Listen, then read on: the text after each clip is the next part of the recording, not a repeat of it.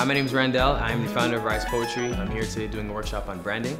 My first number one tip is define your brand, know who you are and who you are not. Number two is to establish your brand, establish what you are, what you stand for. Number three is know your market, know uh, the other the other organizations that are similar to your market and your brand. Number four, develop a presence in your market through social media, through a physical presence, um, anything that you can do to get your name out there in your organization. The number five tip would be get some feedback and evaluation from friends and family, from those who may may use your market and maybe from people who are not using your market and why uh, it's not accessible to them.